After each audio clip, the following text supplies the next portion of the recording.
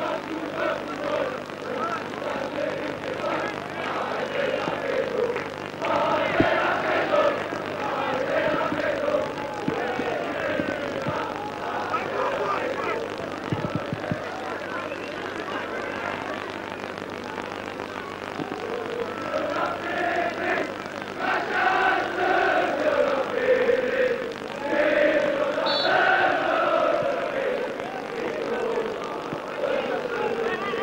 V-am lăsat uh, puține momente. Să ascultați, sper că s-au auzit, cântecele suporterilor rapidiști, exemplare astăzi.